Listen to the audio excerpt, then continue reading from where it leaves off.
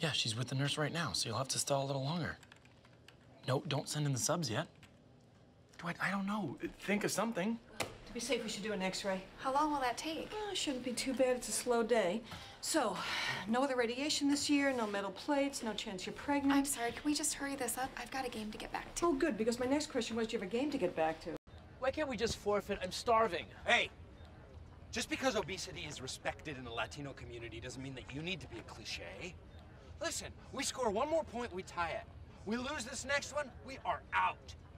I say Dunder, you say Mifflin, Dunder! This is confusing. They're Dunder Mifflin too. Just serve the ball, idiot.